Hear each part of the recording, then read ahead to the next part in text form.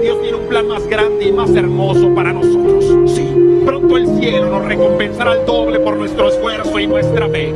Y que ese buen día, ese gran día con el que tanto hemos soñado, llegará. Hola amigos, ¿qué tal? La selección de México estará en Qatar 2022. El Tri alcanzó el objetivo este miércoles al vencer 2 a 0 a El Salvador y terminó el octagonal final de la CONCACAF en el segundo lugar, por detrás de Canadá. México terminó en la segunda posición del octagonal con 28 puntos. El Salvador finalizó en el séptimo peldaño con 10 unidades. Uriel Antuña, al minuto 17, y Raúl Jiménez, al 43, marcaron los goles para el triunfo mexicano en el Estadio Azteca. Por su lado, Estados Unidos también concretó su clasificación al Mundial con 25 puntos y acabó tercero al perder 2-0 de visita ante Costa Rica, que se ubicó cuarta también con 25 unidades y jugará el repechaje intercontinental contra Nueva Zelanda. Canadá, que se clasificó el domingo, finalizó como líder del octagonal con 28 puntos a pesar de perder 1 a 0 de visita ante Panamá. México le ha ganado 2-0 a, El Salvador.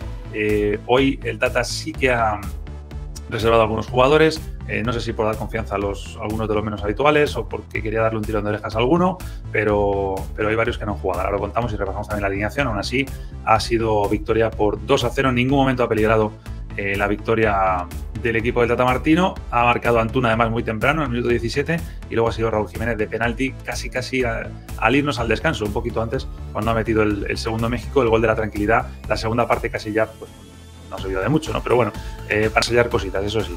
Por último, la victoria de Jamaica ante Honduras. Honduras ya sabemos que es eh, el peor equipo del octagonal, no tenía ninguna opción, hoy se va a ver un poquito a lo mejor su imagen y, poco más, ¿no? Eh, ¿Cómo queda la tabla? La voy a poner en grande que si no, no se va a ver. Ahí está. Canadá, campeón del octagonal, 28 puntos, va directo al Mundial de Qatar. Ojo, decía antes, ha habido cambios importantes. Por ejemplo, México con la victoria de hoy más la derrota de Estados Unidos, se pone segundo. Y no solo segundo, sino que como Canadá también ha perdido, pues fijaros, 28 puntos Canadá, 28 puntos México. Casi gana el octagonal eh, México. Da lo mismo porque al final eh, van a ir al sorteo exactamente igual. No cambia el bombo en el que iban a ir unos y otros, que luego vamos a repasar en qué bombo está cada uno de ellos. Pero, eh, bueno, pues, ahora hablaremos de México, ¿no? Pero a México se le atiza muy fácil eh, al final ha conseguido el objetivo, es clasificar. Es verdad que a lo mejor lo puede haber conseguido con un poquito más de margen, pero yo creo que tiene eh, al final un buen, una buena clasificación para, México. Recordemos que Estados Unidos y Canadá ya no son palmeros, son equipos a, tener en cuenta. ¿no? Estados Unidos con la derrota de hoy, 25 puntos, eh, los, que los que tenía, los mismos que Costa Rica, que esto es lo otro que quería resaltar. Al final Costa Rica va a ir al repechaje, pero fijaros por el tema del golaveras, diferencia de goles. Recordemos que hoy Costa Rica tenía que ganar 6-0, mínimo 6-0 para eh, ir directo y mandar a Estados Unidos al repechaje era prácticamente imposible.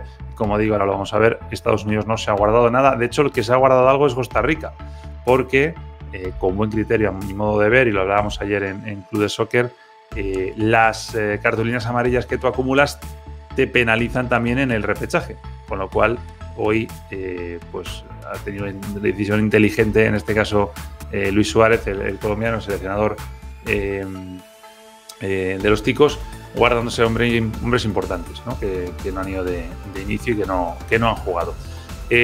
México con Memo Ochoa en la puerta, con Sánchez Gallardo laterales, Néstor Araujo y Montes centrales. Como veis, ahí ya vamos viendo algunas posiciones en las que ha habido rotación. Rodríguez Álvarez, Gutiérrez centro del campo, arriba Raúl Jiménez, con Vega y con Antuna. Eh, yo quiero resaltar algo, eh, aparte del 11, que como decíamos, pues a poco que veáis, pues falta gente, ¿no? Em, falta, falta gente que deberían de ser eh, titulares, como Chucky, como Tecatito, no han ido de, inicio. sí lo ha hecho Raúl Jiménez, lo ha hecho Antuna, ¿no? Ahí van a tener que jugarse los amistosos que haya de aquí al, Mundial, ¿no? Pero está bien, yo creo que el Tato también mueva, mueva el 11. Al final acaba segundo, eh, con los mismos puntos que el primero. Como decía antes, las críticas siempre van a estar ahí con México. O sea, México, y me parece que muchas veces las críticas están, bien hechas, ¿eh? pero, pero mira, al final, eh, si lo decía para Estados Unidos, lo tengo que decir también para México. Al final se trata de, clasificar, no, no, ni más ni menos. ¿no? Y, acaban con los mismos puntos que, Canadá me parece una buena fase de, de, clasificación. Sí me parece que sí es muy achacable pues que México no ganara ninguno de los dos títulos que antes hemos dicho que ganó Estados Unidos. Eso sí, pero clasificar al final es, clasificar, ya tienes mucho tiempo por delante para, trabajar. Me quedo con varios detalles. Uno, en el gol de Antuna, de Uriel Antuna, lo ha celebrado con el Tata, eh, que es un entrenador que le ha dado mucha confianza y que evidentemente se le agradece de esta manera, no con el gol, sino con la celebración y el festejo. Y no es solamente el, festejo de este jugador con el Tata, sino todo el equipo. Si os, fijáis, si habéis visto el partido, si no lo veréis seguramente eh, después, aquí no lo podemos mostrar evidentemente, eh, todo el equipo se ha ido a celebrarlo con el Tata. La, guillotina va a estar ahí colgando siempre sobre la cabeza del entrenador de México. Y, el Tata lo sabe bien porque ya, ya viene de atrás. Eh, me ha parecido muy de destacar porque es una manera de decir los jugadores queremos ir al mundial con este técnico.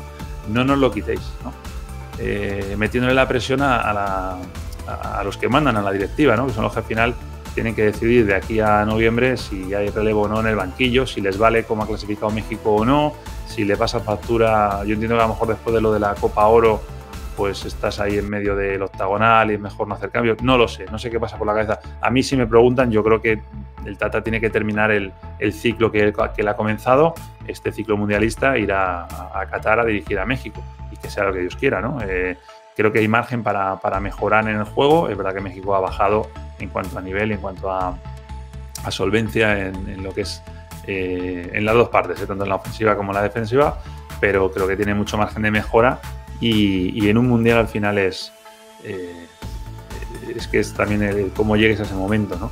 Recordad lo que hizo México a, Alemania en el último mundial, totalmente inesperado, ¿no? Está el famoso reto para México del quinto partido, bueno, que vayan al primero, segundo, tercero, siempre partido a partido, que diría, que diría Simeone, ¿no? Eh, del Salvador poquito que, destacar, ya estaba, ya estaba afuera y bueno, es un proceso lento desde la etapa aquella en la que tuvieron casi que regenerarse, ¿no? Eh, con, Costa y demás y con Cuadrat y desde ahí han ido pasando varios entrenadores y, es, es, complicado. Eh, ¿Qué más? ¿Qué más? Bueno, dato puramente frío y estadístico, octavo mundial consecutivo para México, son 17 mundiales en total, octavo consecutivo y y está donde tiene que estar México, que es el gigante de la CONCACAF, como dicen, es el equipo referencia de ahí. Tengo un poquito de agua. Y está donde tiene que estar. En el Mundial ya habrá momento de, dar palos y de ver qué, qué sucede, ¿no? Bueno, me preguntan.